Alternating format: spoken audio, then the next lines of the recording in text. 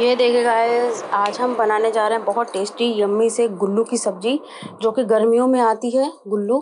तो आप देख सकते हैं, इसको हमारे यहाँ गुल्लू कहते हैं। तो आप लोगों के यहाँ क्या कहते हैं बताइएगा? तो हेलो एवरीवन आपका स्वागत है हमारे यूट्यूब चैनल छाया मिश्रा की रसोई में। गाइस आज देखिए मम्मी छील रही है गुल्लू। तो आज मम्मी बताती जाएँगी, हम बनाते जाएँगे, जैसे कि नॉर्मली घर में बनता है उनके, बस वैसे ही सिंपल सा बनाएँगे, ज़्यादा कुछ तामझाम नहीं करेंगे। तो देख सकते हैं, इस तरह से छील लेंगे। और छीलने के बाद क्या करेंगे? इस तरह से बीज भी निकाल देंगे। ये देखिए, बीज निकाल रही हैं। ये देखिए, इस तरह से। तो अभी हम आपको बाद में दिखाएँगे भी कि कैसे क्या बीज निकालती है। ये देखिए, इस टाइप के बीज होते हैं, इनको निकाल देती है अंदर। यानी ऊपर का छिलका और अंदर का बीज दोनों ही निकाल देती हैं। बीज का पार्ट डालती हैं, जो कि ये है। अब ये देखिए, लहसुन ले लिया है, प्याज। ये देखिए, दो बड़े प्याज कट कर लिए हैं। बहुत बड़े नहीं, बहुत छोटे नहीं। इस तरह से। ये देखिए, और ये दस से बारह कली लहसन की। लहसन आप अपने हिसाब से डाल सकते हैं। तो अब क्या करेंगे, इसको देखिए वॉश कर लिया अच्छे से। पानी देखिए कितना गंदा दिख रहा है व्हाइट व्हाइट सा। तो क्या करेंगे, इसमें थोड़ा सा बख्ठा टाइप का स्वाद होता है, उसको बाहर निकालना होता है। तो कोशिश करेंगे कि थोड़ा सा निकाल दें। तो क्या करेंगे, धुल के अच्छे से कुकर में डाल देंगे और एक विसल लगा लेंगे। एक विसल लगाने से क्या होगा ना, इसका जो बख्ठा स्वाद होगा, वो निकल जाएगा। कुछ हद तक कुछ हद तक रह भी जाता है, मगर आप चाहें तो ऐसे भी बना सकते हैं, अगर आपको बख्ठा वाला स्वाद अच्छा लगता है। मगर एक बार हमारे तरीके से बना कर देखिए, बहुत अच्छी, बहुत टेस्टी रेसिपी लगती है। और ये बहुत ज़्यादा अच्छी है तो ये देखिए, दो ग्लास पानी डाल देंगे इसमें। और इसको हम बॉयल कर लेंगे। एक विसल लगा करके, ये देखिए, इस तरह से। तो बॉयल करते हैं।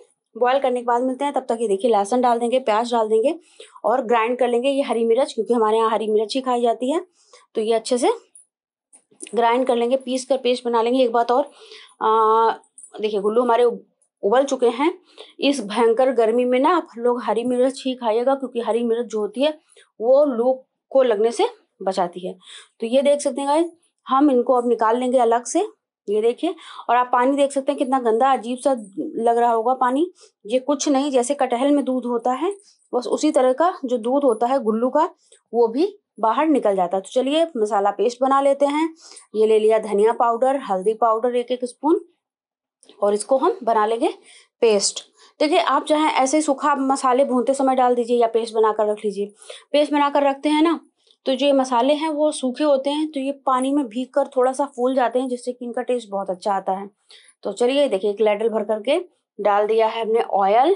एक बात और, ये आपको थोड़ा सा लेडल अजीब सा लग रहा होगा व्हाइट व्हाइट सा, ये घी का है, इसलिए मतलब घी बना रहे, घी बना रही थी ना मम्मी तो वही हमने लेडर ले लिया था जल्दी में। तो ये देखिए, पहले प्याज डाल देंगे, प्याज, लहसुन और मिर्च का पेस्ट इसको अच्छे से भून लेंगे।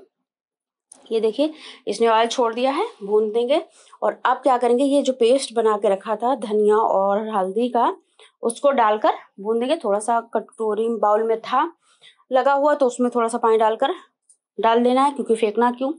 कोई भी चीज़ होती है, हम जल्दी वेस्ट नहीं करते हैं तो वही है। अब इसमें डाल देंगे, अब इसको क्या करेंगे? धीमे धीमे फ्लेम पर फ्राई करेंगे। और फ्राई इतना करना है कि ये अच्छे से ऑयल छोड़ दें। मम्मी का कहना यही होता है कि अगर मसाले अपना ऑयल छोड़ देते हैं ना तो वो अच्छे से भून जाते हैं और टेस्ट बहुत अच्छे से निकल कर आता है। ये देख सकते हैं तो ये हमारा भुन गया है तो हम इसमें गुल्लू डाल देंगे। और गुल्लू डालने के बाद इसे भी फ्राई कर लेंगे। थोड़ी देर के लिए, ज़्यादा टाइम नहीं लगेगा आप बस क्योंकि बॉयल हो चुकी है, मसाला भी भुन चुका है तो बहुत टाइम नहीं लगता है। ये अब इसमें डाल देंगे नमक टेस्ट के अनुसार। ये देख सकते हैं। तो अब क्या करेंगे? थोड़ा सा पानी मतलब जितना ग्रेवी चाहिए, बहुत ज़्यादा ग्रेवी करके क्या फ़ायदा?